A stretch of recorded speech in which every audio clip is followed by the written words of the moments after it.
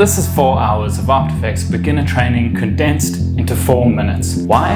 Because you know what they say, time is magic, right? That's what they say, time is magic? Yeah. This is After Effects, and this is where the magic happens. The time? You'll notice the program is made up of different panels or windows. You can add or remove these panels by clicking on them in the window menu. Let's start by creating a composition by clicking Composition, New Composition. These settings are typical, however, these are the key variables you may want to change. Naming your comp is also good etiquette. Next, we can import footage files by clicking File, Import, File. This is also what good folder structure looks like and selecting a file. When you click import, this is imported into your project panel. We can now drag our newly imported video into this bottom panel known as the timeline. Our footage forms its own layer in the timeline. We'll come back to this in two shakes. But first, let's look at creating shape layers, the backbone of motion design. Look at all the shapes we can select by holding click. Let's pick a square and then click and drag in the composition window. Holding shift will allow us to constrain our proportions to a square. Next, let's create a shape layer using paths with our pen tool. First, let's make sure we have our stroke set to more than zero and remove our fill. Then we can click in the composition window to start our path and keep clicking or clicking and dragging for a curve to continue our path. Layers must always be named or risk the wrath of your future self as they desperately try to find a way to time travel back into the past to kick some sense into you. Now let's create text with the text tool. Simply click and start typing. Then remember to change back to your selection tool. You can then move it into position and adjust settings in the character and paragraph panels. Keep in mind, layer order in the timeline matters. Let's use Control or Command plus Z to undo. We're gonna use that a lot.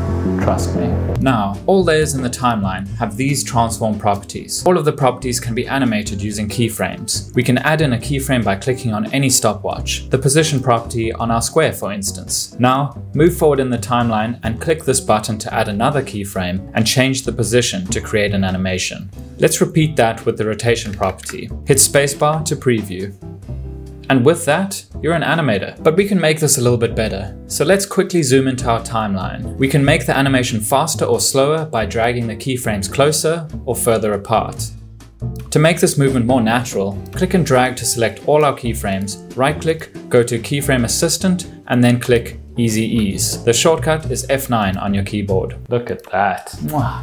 Now in the timeline, hit Control or Command A to select all our layers. Hit U to close our content. You can then use U to open up or close our keyframes. Now, if we click in our Effects and Presets panel, we'll find a huge list of effects. These can be applied by selecting a layer and double clicking on an effect. This can then be adjusted in the Effect Controls panel.